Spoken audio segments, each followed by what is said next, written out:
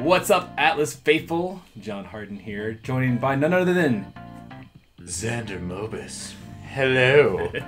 we're here to talk about something you may have heard of it before. It's called Persona Persona Five. Does that ring a bell? no. Um, No. What what is what is that? I don't know. Like I've heard Explain you, it. I've heard you had kind of a big role in it. Like Oh, know- for real? Yeah. I Was I guess. good? Um, what was the guy's name again? Oh, that's right, the protagonist. He is literally this guy right here. That you probably can't see because his head's in front of it. I'm going to be naming him Norm in my playthrough. And because we are doing Persona 5, we've got this What? freshly scalped Morgana head for you. Righteous. Sick beanie, bro. Let's see.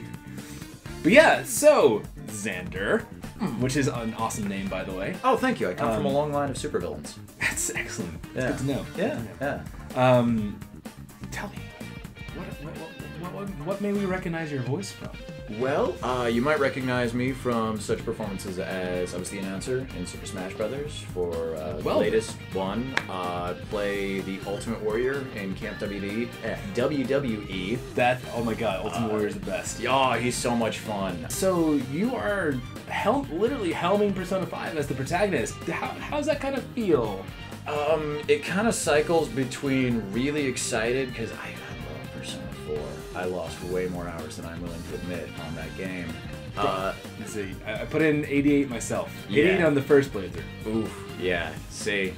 And then it kind of cycles from excitement to terrified to back to excitement to back to terrified to, oh, hey, I've got to poop. I'm going to do that.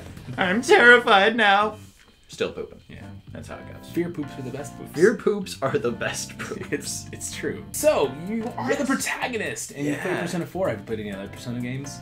I have, well, I played uh, Shin Megami Tensei 4 last Christmas. I borrowed my brother's copy.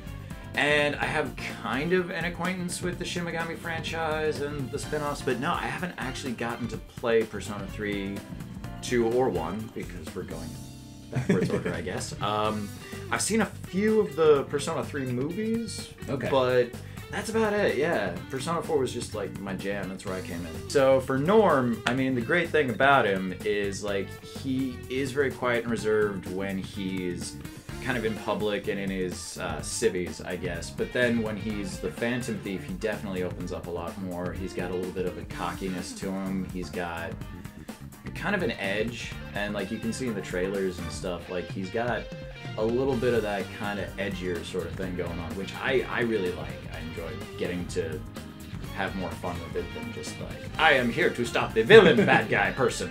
Well, you do come from a long line of super villains, so that's it's true. Yeah. Yeah. How the hell do you pronounce it, Persona? okay. I've always said it Arsène Okay. but i could be totally wrong and i'm sure somebody in france is like aha they have caught him in the trap We apologize, France. i love you france You know a ton more about it than I do, because we haven't seen it, played it, heard it, anything. So you, you're like, then i guess i have the power here you do. Excellent. Don't no, no spoilers. I'm okay, It's gonna be crazy. But you guys are just gonna have to wait until February 14th when the game releases. Where might we find you on the interwebs? Should the enterprising young Atlus fan want to stalk you and everything you do?